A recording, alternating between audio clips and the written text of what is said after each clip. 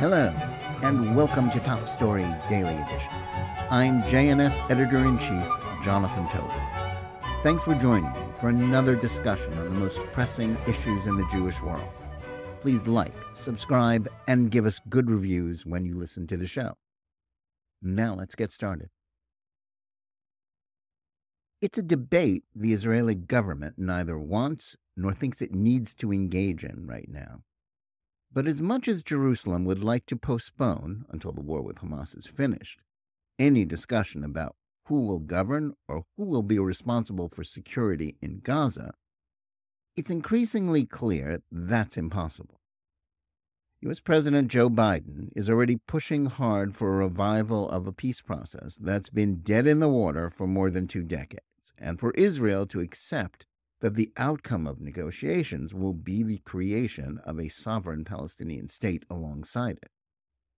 That makes mm-hmm. sense to a lot of people, including many American supporters of Israel who still believe a two state solution is the only rational solution to the conflict with the Palestinians. And in theory, two states for two peoples coexisting in peace does sound ideal. But it's time for Biden and anyone who wants the United States to use its enormous leverage over Israel to advance a two state solution to sober up about the Palestinians. They must listen not so much to Israeli Prime Minister Benjamin Netanyahu, but to the Israeli people. The president may believe that it is a political necessity for him to force the Israelis to agree to this plan in order for his administration to continue supporting the war against Hamas. And he may be right that many, if not most, Democrats want the increased daylight between the two nations over the peace process that largely characterized the U.S. Israel relations when his former boss, Barack Obama, was sitting in the White House. But as even the New York Times reported this week, in the aftermath of October 7th, the overwhelming majority of Israelis reject any thought of renewal of negotiations let alone the imposition of a two state solution. That's in spite of very low levels of confidence and support for Netanyahu after a year of political strife over judicial reform and failure to prevent the Hamas atrocities. Though the Israeli left that once dominated the country's politics has been a shadow of itself since the Oslo Accords collapsed in the bloodshed of the Second Intifada, remnants of those who advocated for more territorial retreats and Palestinian statehood are now completely discredited. Indeed, as the Times noted, even people who considered themselves peace activists have finally drawn conclusions from a century of Palestinian hate and terrorism that culminated in the worst mass slaughter of Jews since the Holocaust and realized that the conflict is impossible to resolve in the foreseeable future. That fact, that many of the victims of the Hamas pogroms living in the border communities were ardent peace advocates, but were still murdered, raped, and kidnapped by the Palestinians, made a deep impression on the Israeli people. In rejecting the policies that created October 7th, Israelis aren't merely showing their grief, they're demonstrating common sense. Yet Biden is doubling down on the two state myth. The same is true for most of the international community and the United Nations. They're terribly wrong, and not just because the Palestinians have rejected numerous two state offers that would have given them independence over the course of the last 75 years. At this point, there are only two reasons to revive the peace process. One is to give Biden some reelection campaign wiggle room with the majority of Democrats that favor the Palestinians over Israel. The other is to advance the cause of the Hamas terrorists who committed the October 7th atrocities that launched the current war. While the minority of Democrats who know that Biden might be the last member of their party to sit in the White House who will have any sympathy for the Jewish state think he deserves the help, anyone who cares more about Israel's security and survival needs to understand that support for actions that ultimately aid those who share Hamas's goal of destroying Israel is too high a price to pay for Israel's people. Contrary to the gloom and doom headlines about the latest polls in liberal outlets like The Times, Biden's declining reelection prospects aren't entirely the consequence of his decision to support the war against Hamas after October 7th. He's currently trailing former President Donald Trump for many reasons, including the state of the economy, the collapse of security at America's southern border, his age, and widespread perception of his weakness as a leader. But there's no question that Biden's clear sympathy for Israel after October 7th and his backing the, for the goal of destroying Hamas are costing him in the support of left wing Democrats. That's especially true for young voters who are more likely to have been indoctrinated in the toxic myths of critical race theory and intersectionality that falsely label Israel and the Jews as white oppressors of Palestinians. That's despite the fact that the conflict has nothing to do with race, and the majority of Israelis are themselves people of color because they trace their origins to the Middle East or North Africa. Jews are, after all, the indigenous people of the land of Israel. Biden has undermined milita- Israel's military campaign against Hamas by buying into the false narrative that it conducts indiscriminate bombing of Palestinian civilians, and he's pressured the Jewish state to risk the lives of Israeli soldiers to avoid killing any of Hamas's civilian human shields. The constant talk about pushing Israel to end the war prior to finishing the job of eliminating Hamas from all of Gaza is also stiffening the resistance of the terrorists, delaying the return of remaining hostages, and actually leading to more loss of life.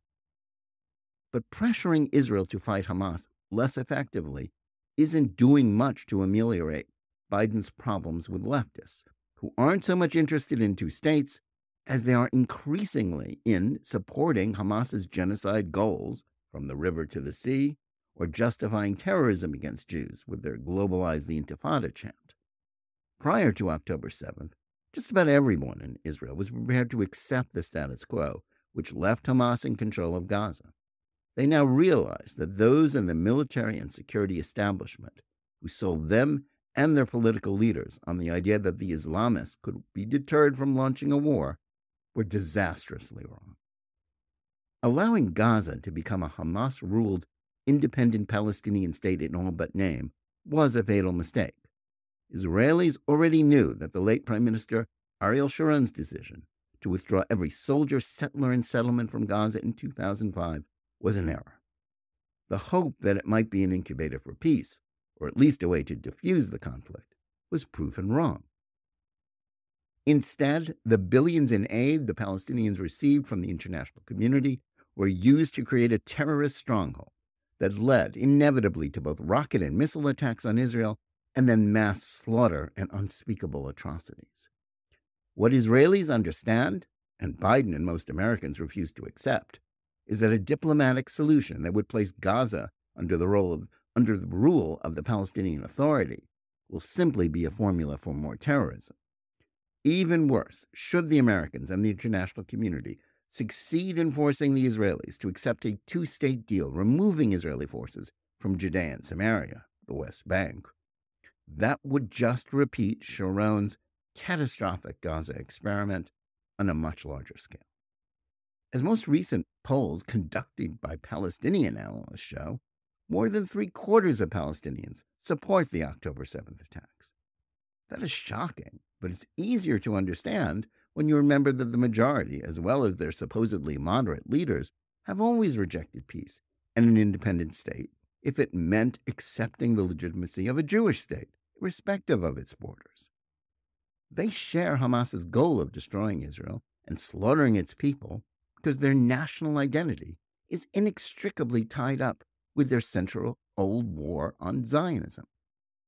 It's hard for those who believe in the two state solution as something akin to a religion rather than a policy proposal to accept that aspect of the Palestinian national identity. It's equally difficult to accept politicians for politicians like Biden, who has spent his career advocating for a two state solution. But if he is now in a minority in his own party about Israel, it's because the progressives who advocate for the woke diversity, equity, and inclusion DEI catechism are likelier to support the Palestinians than Israel. The further he goes to appease them, the more it strengthens the will of the Palestinians to continue their quest for Israel's destruction. As with every previous attempt to impose a peace process on Israel, the only thing that will be achieved will be more terrorism and more Israeli blood shed. After October 7th, it's time for even liberal American Jews to say enough to this farce.